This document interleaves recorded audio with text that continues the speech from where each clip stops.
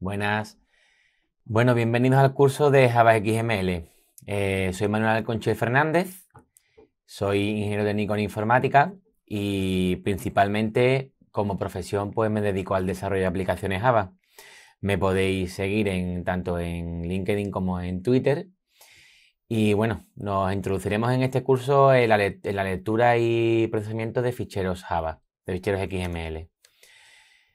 Os doy un pequeño índice de lo que vamos a hacer durante el curso.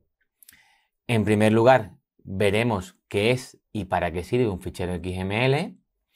En segundo lugar, instalaremos el IDE de Eclipse con el que utilizaremos para poder desarrollar nuestras aplicaciones Java y leer eh, ficheros XML.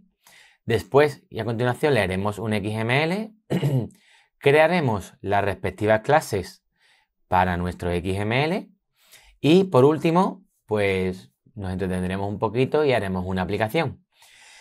Muy importante, ¿qué vas a aprender en este curso?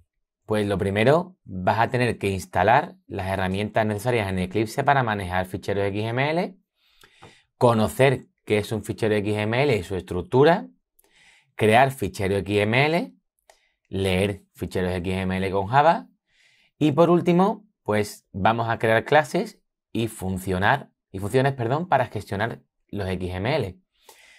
Muy importante tener conocimientos previos en Java, ya que algunas de las funciones y métodos que vamos a utilizar pues dependen de ello. Y nada, os espero en el curso y, y sois bienvenidos. Hasta aquí este vídeo sobre Java XML. Espero que te haya gustado. Si quieres saber más sobre este tema, haz clic en el botón y accede ahora al curso en Open Webinars.